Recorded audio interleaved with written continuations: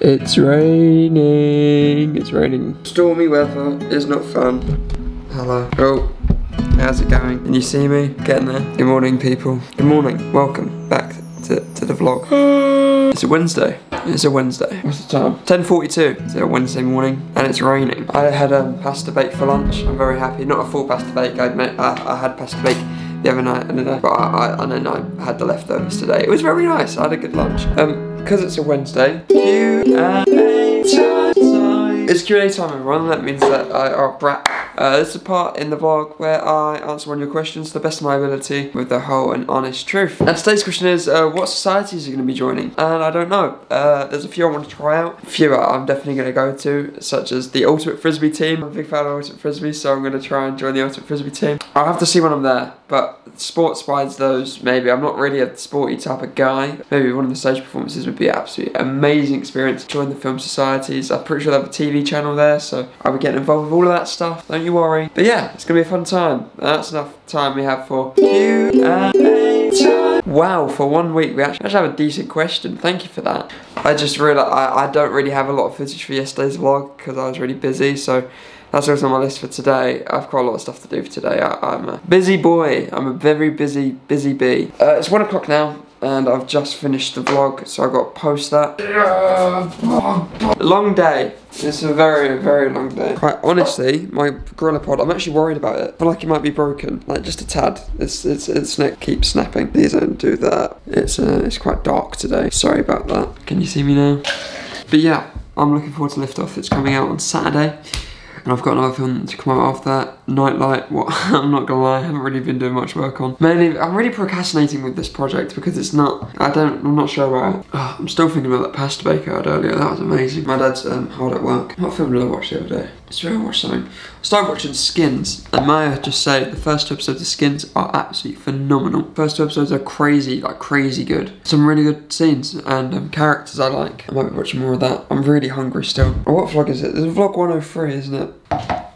I'm gonna grab some food. I want to do a video for people who are coming to the UK and want to know what to get. If I was going to do a video, custard creams, get a custard cream. Right, now I got to edit Charlie's thing so I forgot to do it yesterday. Uh, that's another thing I can take off my list. Ah! Today I'm going to be telling you about um, some tips for A-levels. This is for people who are going into sixth form or college. It doesn't really matter uh, if you're doing A-levels or if you're doing a BTEC as well. Uh, this is videos kind of for you. I've just finished mine. I just got my results back. So this is kind of coming from me who's done my A-levels. So here's just a few pointers, a few tips just to help you out. Get through these two years that, you know, depending on how you see it, can either be a brilliant two years or the worst two years of your life. So let's way back down to the beginning. Let's say you're in year 11 and you're trying to decide where to go. If you want to do what you want to do, if you found something you really want to pursue, now's the time to take it to the next level. I'd say research places that do your course. Don't look at a place because of it's a certain school or your friends are going there. Look at a place because it has a good course, it has a good teacher, and it leads on to good opportunities. One thing with college slash sixth form that I loved is that if you didn't have a lesson, you didn't have to be in, but they strongly advised it, and I strongly advised to that. You know, it's called having a free period. When you go to A level, you're probably studying three to four A levels, or you're doing three to four courses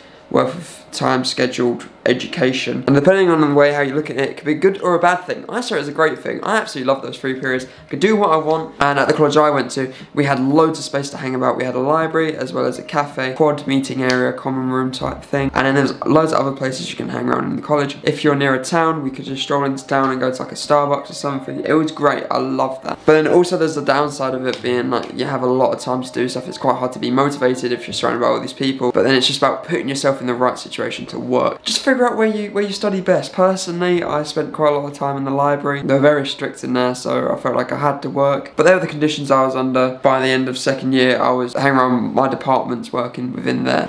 So I didn't have to wear uniform at my college, what I loved. I felt like I matured a lot in the two years I was at college. But no, I had a brilliant time. But when you're picking your college, make sure you speak to your teachers, try and get a one-to-one -one kind of talk to understand the course, make sure you know mainly most stuff on the course, not only just to know if you're gonna like it, but also if you do like it, you can get a head start. You're watching films that you have to watch. Uh, reading books or, or studying studies by other scientists if you're doing stuff related to science. Researching people you're going to be studying before you go to the course is a great way to get started and it almost kind of relieves the pressure than a heavy dump and it might leave you feeling overwhelmed. For instance, if you're studying something like film, you can go on the course specification, find what films there are, and try and watch the ones that you can. Right, so you're at college now. You're at college. Always bring a notepad. Um, I don't really know what the situation is with other schools and other sixth forms and study. We didn't get like a textbook that you'd usually get, workbook or however you call it. Just line, uh, just a line paper pad is always brilliant to bring for like the first days, and then you can find out if you're going to get a book or not. Take care of your textbook. like Likelihood it's owned by the school, and you can get fined if it's in bad condition, and that is not fun. Maybe before going to your first lesson, just find out where your classes are. Do you have an idea? You know that one person who's like, and colleges are a maze. They're an absolute maze. So try and get your bearings. Where you've had five years at secondary school, now you have two years till your exams. So you have all this time to kind of have fun as you start worrying about exams. Here, here you have to think all the time that you're gonna have an exam pending. That's kind of have to have that mentality. It's just something you have to accept. Depressing, I know. um, you have to always think about when the next exam is and you're doing an exam. It can be stressful. Just know at the end of this you're gonna have exams. Obviously we didn't because of pandemic. But for exam prep, as soon as you can, find out when your exam timetable is, find out when your exams are, get down on a diary, get a diary. That's another thing I forgot, oh my god. Yeah, second year can be pretty stressful because it's kind of a bit intense, but just know when your exams are, and if you have one coming up, just dedicate some time to study for it. But also don't be stressed if you get it wrong, you know, in the famous words of astronauts, we have to fail down here so we don't fail up there. Fail before the exam, but you're less likely to fail on the exam. Don't be afraid to fail now. That's a, that's a good tip I'd say. So they're my tips for A-levels. So yeah, that's kind of just for future A-level students. I hope this helped. If you have any questions, I can only offer from what experiences I've had. So if you have any questions about BTEC specifically, I could probably offer more help with that. But as well as A-level in terms of film stuff, feel free to ask me questions. I will try and answer them to the best of my ability. But yeah, just it's gonna be it's gonna be fine. It's gonna be alright. Hopefully this helped out at least one person. If it didn't, then I apologise. Tried my hardest. Thank you for joining me today. As always, if you enjoyed, make sure you hit subscribe as well as liking the video. Comment down below what you want to see next. Uh, have a few fun videos planned, so make sure you stick around for that. I don't really know what we're going to do tomorrow, so we will see.